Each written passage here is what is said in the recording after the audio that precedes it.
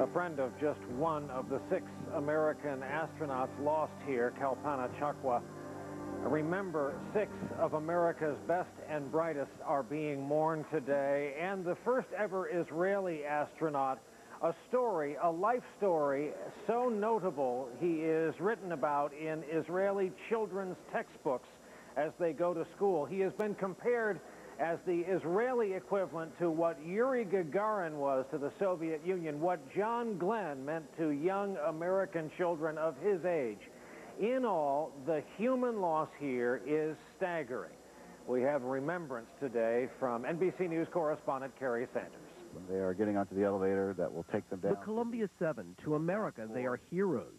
To family members, they were husbands or wives, children, sisters and brothers. It, it was uh, an unbelievably tragic ending to this. It was all so smooth and it was all so sudden. Laurel Clark, the mother of an eight-year-old son, on her first mission, making her family so proud. She died after she got to see what she had been dreaming for for years now. She'd been working towards that goal of getting up there, and I'm thankful she at least got to do that.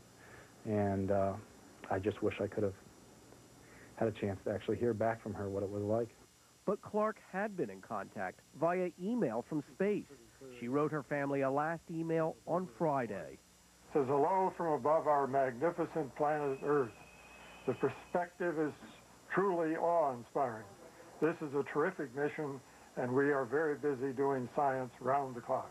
But in their grief, one consolation. They died in pursuit of their dreams. Mission Specialist David Brown's mother. This is what Dave wanted to do. And to not be able to go into space would have been the greatest disappointment for him. I, sure, I had my fears, but it's what he wanted to do. Among the crew members on board, Michael Anderson, one of only seven African-American astronauts.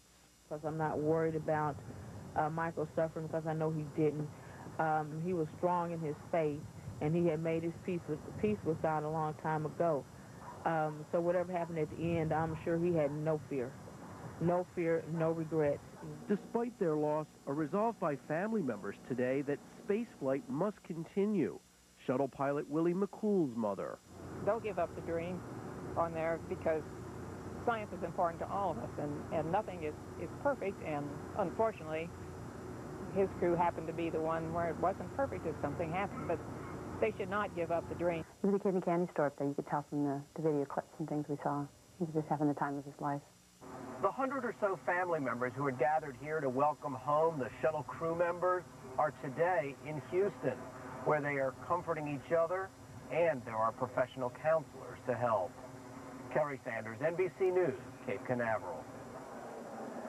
And more about the Israeli member of the crew. Here is how important he is to the state of Israel. They do not normally release the names of their decorated fighter pilots because they live in a very dangerous neighborhood on this planet and the possibility of being downed is always with them. They obviously made an exception in the case of Ilan Ramon, a favorite son of Israel, a bona fide military hero, quite literally a son of the Holocaust.